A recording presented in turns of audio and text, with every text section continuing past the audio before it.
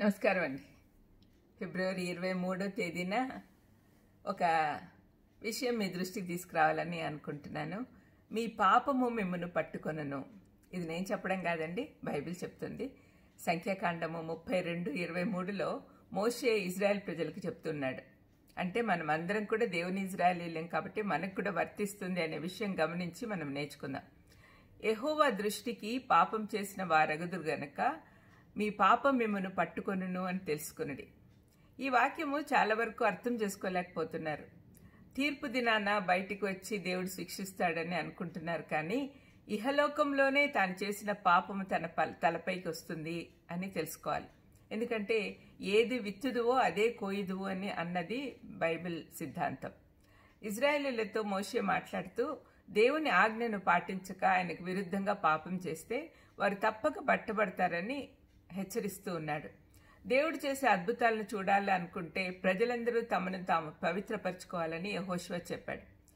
ప్రార్థన చేసేటప్పుడు కూడా మనసులో కల్మషం లేకుండా చేస్తేనే దేవుడు ఆలకించి మన ప్రార్థనలు నెల- నెరవేరుస్తాడు. ఎందుకంటే పాపం అనే అడ్డుగోడ మనకు దేవునికి మధ్యలో ఉంటే మన ప్రార్థనలు దేవుని సన్నిధికి వెళ్ళవు. ఆకాన్ విషయం ఆకాను మీకు అందరికీ తెలిసే ఉంటుంది. యెహోషువ గ్రంథము ఏడవ అధ్యాయంలో అతని గురించి ఉంటుంది. ఆకాన్ విషయం పరిశీలిస్తే ఈ విషయము మన మనం అనుకున్న ఈ విషయం బాగా అర్థమవుతుంది. శపించబడిన వస్తువులను ఆకాను తీసుకున్నందువల్ల దేవుని కోపము ఇజ్రాయేళ్ళ పైన రగిలింది. హాయ్ పట్నంపై దండెత్తినప్పుడు పొందిన అపజయం ద్వారా దేవుని కోపము వారిపై చూపించాడు. హాయ్ పట్నం చాలా చిన్నది. అంతకుముందు యోర్దాన్ అనే పెద్ద పట్టణము వాళ్ళు గెలుచుకున్నారు. దాంట్లో దేవుడే వాళ్ళకి సహాయపడి దేవుడే వాళ్ళ పక్షంగా యుద్ధం చేశాడు. అయితే శపించబడిన వాటి ఏమీ ముట్టుకోవద్దని చెప్పినప్పుడు ఆకాను వినక కొన్ని సామాన్లు తీసుకున్నాడు. దానివల్ల ఇజ్రాయెల్ జనాంగం అంతా కూడా శిక్షించబడింది. తర్వాత ఎన్నిసార్లు అడుగుతాడు యెహోషువ. తర్వాత ఫైనల్గా అతను పట్టబడతాడు చంపబడతాడు.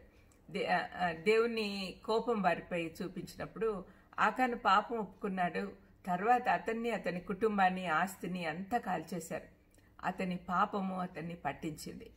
అయితే దావీదు నాతాన్ ప్రవక్త ద్వారా తన పాపం తెలుసుకున్నప్పుడు కూడా దేవుణ్ణి క్షమాపణ అడిగాడు. కీర్తన యాభై ఒకటవ అధ్యాయం అంతా దాంట్లో దాని గురించి రాయబడి ఉంది పశ్చాత్తాప హృదయంతో రాసిన కీర్తన అది. మూడవ వచనం మనం చదువుకోవచ్చు.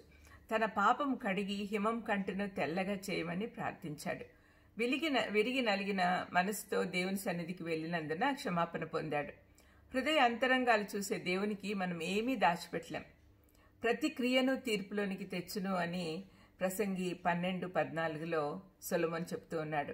ప్రతి ఒక్కరూ దేవుని తీర్పు ఎదుట నిలబడి మంచి క్రియలైనా చెడైనా శరీరంతో చేసిన ప్రతి క్రియకు తీర్పు పొందాల్సి ఉంది అని పౌలు రెండో కొరింతి ఐదు పదిలో చెప్తూ ఉన్నాడు.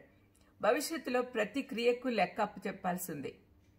కాబట్టి దేవునికి ఇష్టలుగా ఉంటూ ఆయన చిత్త ప్రకారం నడుచుకోవాలి. మనం చేసే ప్రతి నిర్ణయంలో దేవునికి ప్రథమ స్థానం ఇవ్వాలి. ఆ తర్వాతే ముందుకు సాగాలి. చిన్న ప్రార్థన చేసుకుందామా? దయగలేసయ్యా మీకు ఇష్టం లేని పనులు ఏం చేయకుండా మీకు విరోధంగా ఏ పాపము చేయకుండా ఉండడానికి కావలసిన శక్తిని అనుగ్రహించమని యేసుక్రీస్తునామని వేడుకొంచున్నాను తండ్రి. ఆమెన్.